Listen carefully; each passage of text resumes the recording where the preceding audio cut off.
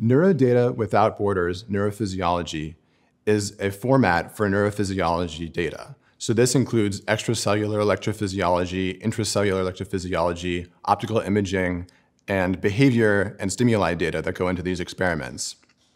The core idea of this format is to package all of the data we collect during these experiments with the metadata that we need to understand that data. So it's a common problem in this field that if a grad student leaves a lab, they have their own way of storing the data, and it's difficult for anyone else in the lab to actually understand what they're doing. It's even harder if you're collaborating with another lab and now you have to communicate to them what's in this data. Neurodata Without Borders helps a lot with this problem because we have a standardized way of associating all the data with all of the necessary metadata that you need to understand it.